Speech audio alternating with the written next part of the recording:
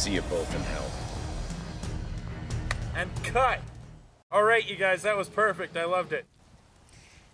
Seemed rushed. Can we do another take? No, Jamie, we're not gonna do that one again, okay? It's late, it's gonna snow in the morning, we gotta get home. Alright, you can get up. That's what cut means. Pack it up, Hello? you guys. Let's get out of here. Have a great night. Good job. Why don't you go and get cleaned up? I think he hurt his back or something. I'll help him up. Dave. Hey. Let's get up.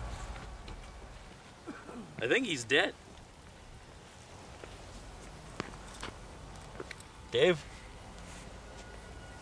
He's dead. You killed him. I stabbed him. Like you wrote it. Didn't feel right. Like the blade didn't retract properly. So what do we do? So what do we do? What do we do? Do we call We call 911? 911. Yeah. No. We need to think about this. You Need help carrying anything else, boss? This is really perfect, you guys. I didn't think we were gonna get this one in tonight. Yeah, I wasn't expecting this at all. Man, the guy playing the dead body that we carried here, that was impressive. I really believed he was dead. This is awesome. Was, the, was there like a rewrite or something? I don't remember seeing the script. Yeah. The director's just gonna film us pretending to bury him. Keep digging. We're gonna need a bigger hole now. Accidents happen all the time. And, uh, uh, Dave, he was replaceable. Uh, I had all their applicants for the role. I mean, it's easy to fill. He's a man in a mask. What about that crew? Grip guy. How you gonna explain that? Grip guy. What was his name anyway? Grip guy. Um, what was he doing? Standing there with a reflector? I mean, we could get anybody to do that. A homeless guy could do it. Right?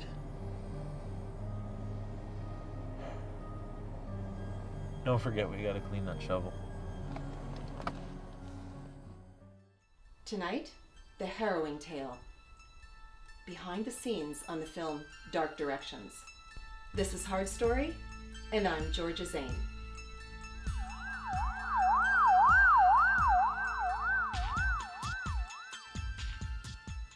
We've all seen the actual footage of the first stabbing death and read the reports about missing crew members. We know how difficult and terrifying this must have been for you. Can you tell us more about when you began to suspect that these deaths were more than just accidental? I still don't like just replacing actors that I had a connection with. Replacing actors. Come on, he's a man in a mask, and he has no lines. Look, everything's fine. He's great. What? You say I get a line? Great. Uh, I have this for my demo reel. Well, What about Brian? The grip. He didn't even show up either this morning. Sure, he's fine. Look, my phone's ringing. I gotta take this. Okay. We'll check up on Brian. You, Promise. you kidding? Unbelievable. Can someone please get me coffee or something? Like, I'm so cold. I'm no, I get not even reel. no. Yeah, I know what's due next week. Look, we've had some delays. I know exactly who we're dealing with here. Look, we had some delays. What can I say? You don't have to threaten me. I'm gonna get this thing done one way or another. It's gonna be in the can.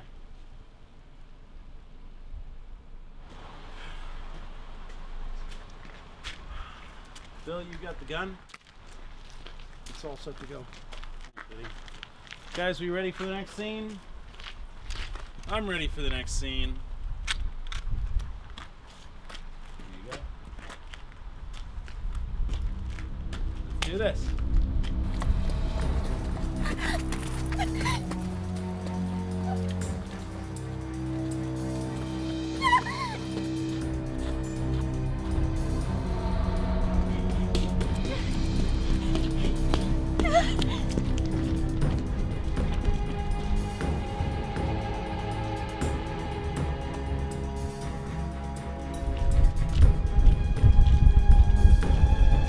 Cut.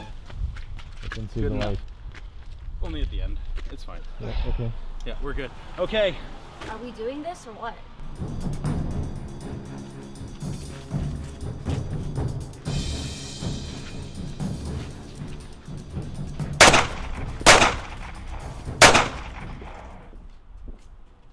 You know, she's going to be a whole lot harder to replace. But honestly, I think we have a real opportunity here. She wasn't that believable, anyways. You've got blood on your face. Don't smear it around, man. Oh. You know, I, I couldn't just have her ruining the movie. I guess that's why the Union films they use prop guns. Okay. Easy. Finger out of the tree. Yeah. Thank you.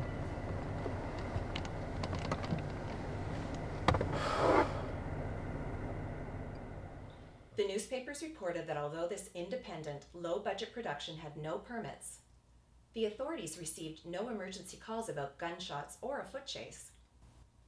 Nor did they ever find two of the actors from that scene. It seems that many local filmmakers are skilled at finding secluded locations and filming guerrilla style. Scary. How with all these COVID craft services rules, people could still get poisoned. Follow the lines. Wear a mask. don't eat with any witnesses. It's like prison. Come on. Bury these four already, would you? We gotta get back into town. I gotta put out a casting call for tomorrow's shoot. I need new bodies. My investor needs me to put something out to him by next week, or I'm dead. Dead. Dead. Nobody touches you. Pretty much all of your regular troupe. Maybe we should just wrap this up now. Wrap what up? We got three more weeks on the shoot. You actually want to believe that I don't know what a real knife feels like, or that I can't tell the difference between real bullets and blanks?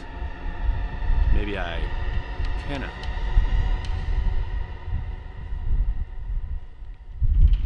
Maybe you can. Didn't take you long to decide that a few more deaths just a cost of doing business. That's crap, man. You didn't wrestle your demons for long at all. You about done? Think about the first time that your low end shortcuts killed someone on set.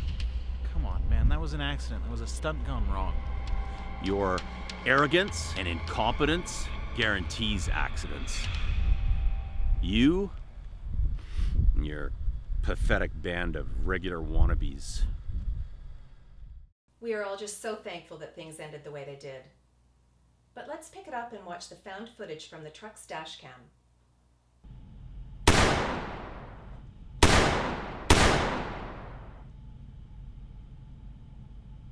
Terrifying. Of course, our producers had to censor the final brutal seconds. Tell us more about the investigation and the film.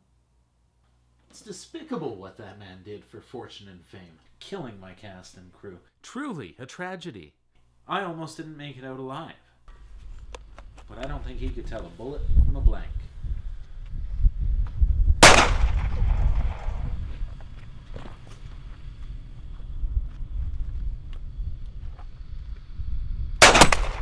Miraculously, the film was completed and went on to become a huge cult hit. So huge, in fact, that production on my sequel begins next month.